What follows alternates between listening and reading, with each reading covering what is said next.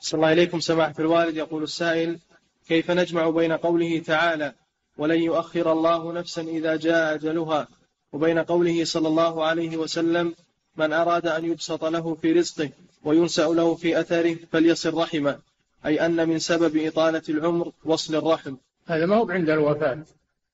نساء العمر ما هو عند الوفاة. نساء العمر قال العلماء معناه أن الله يبارك في عمره ما هو معناه يزيد زيادة وإنما معناه يبارك في عمره ويستعمله في الطاعة حتى يصير كأنه عمر طويل. وقال بعضهم لا بل المراد الزيادة الحسية أن الله يزيد في عمره وهذا مبني على سبب. إذا وجد السبب وجد المسبب فإذا وجدت صلة الرحم وجدت وجد طول العمر. وإذا فقد آه، آه، صلة الرحم فقد طول العمر. مبني على سبب. الأقدار بعضها مبني على أسباب. نعم. صلى الله عليكم سماحة الوالد. لكن عند الموت ما في تأخير.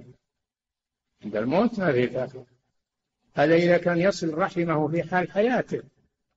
ما إذا بغى يموت يصل رحمه يبغى علشان يتأخر عن الموت هذا ما هو صحيح. نعم.